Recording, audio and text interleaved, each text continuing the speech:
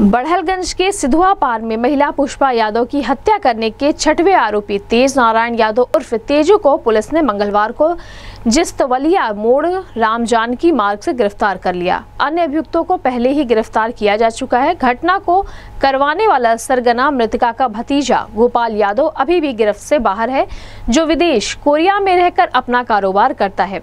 हत्या में शामिल पाँच आरोपियों को पहले ही पुलिस जेल भेज चुकी है। पकड़े गए आरोपियों पर पच्चीस हज़ार रुपए का इनाम था, जिसके संबंध में एसपी साउथ अरुण कुमार सिंह ने पुलिस ऑफ़िस में प्रेस वार्ता करते हुए बताया कि पुष्पा यादव बढ़लगंज की रहने वाली थी, लेकिन थाईलैंड की नागरिकता ली थी। 22 नवंबर 2021 को उनके घर में घुसकर बदमाशों ने पुष्पा की गोली मारकर हत्या कर दी थी। हत्या के अन्य पाँच आरोपियों को 15 दिसंबर 2021 को पुलिस ने गिरफ़्तार कर जेल भिजवा दिया था। छठा आरोपी मंगलवार को पकड़ा गया है।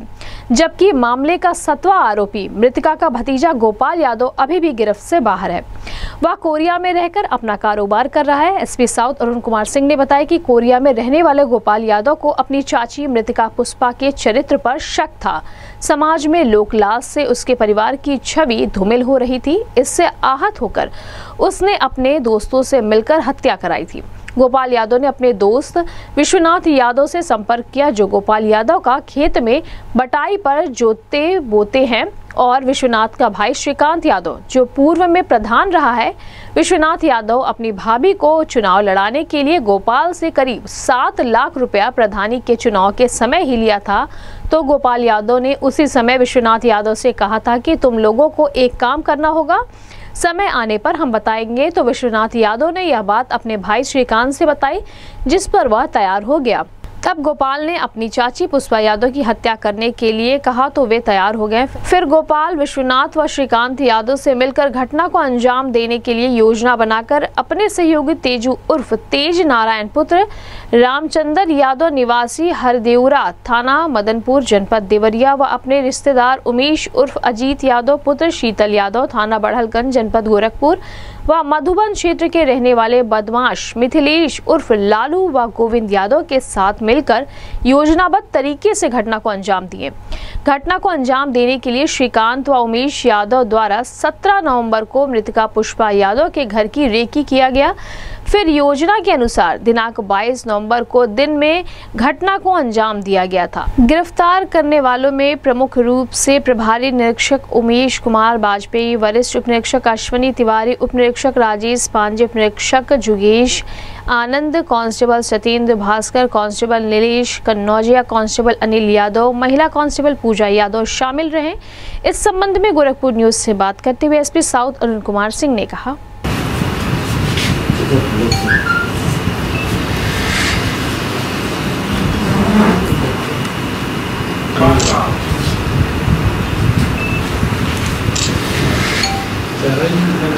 मास्क हटा दो कोई दिक्कत नहीं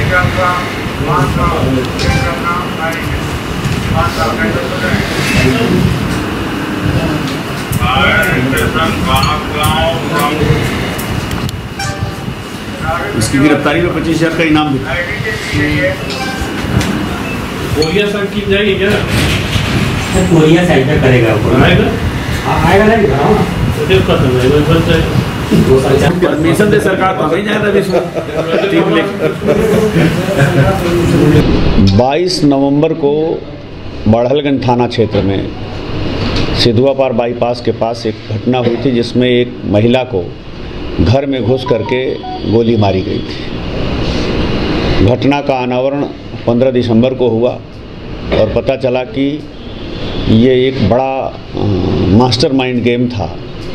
कोरिया में बैठ करके उसका भतीजा और यहाँ लोगों को घर की रेकी करा करके वीडियो कॉलिंग के माध्यम से और फिर उसने पूरा किराए के हत्यारे बुला करके ये हत्या कराई थी। उस अनावरण के बाद पता चला कि इसमें जो तीन किराए के हत्यादार हत, मुलजिम थे हत्या करने वाले वो ऑलरेडी जेल में पहले से थे। घटना के बाद वो तमंचे में बंद हो गए थे दूसरे जनपद से। तो उन दोनों का भी वारंट भी इस केस में बनवाया गया। प्रकाश में कुल सात नाम आए थे। छठवां अभियुक्त तेजू यादव आज गिरफ़्तार हुआ है। और सातवां जो उसका मास्टरमाइंड है, जिसने सारा षड्यंत्र किया और इसके पीछे उसने पैसे भी खर्च किए हैं, वो उसका भतीजा है, जो अभी भी कोरिया में है। पुलिस के रडार पे है और उसकी भी गिरफ्तारी का प्रयास हम वैदिक तरीके से कर रहे हैं। अगर इस बीच में हिंदुस्तान आता है तो आगे हम विधिक कार्यवाही करेंगे, उसके खिलाफ भी। आज इस अभियुक्त को माननीय न्यायालय के समक्ष पेश करके जुडिशियल कस्टडी में जेल भेजा जाएगा। इस मामले में अब तक पाँच गिरफ्तारियाँ हो चुकी थी, छठवीं ये गिरफ्तारी है और सातवां व्यक्ति शेष है। नामजद जो लोग थे, वो गलत नामजदगी हुई थी।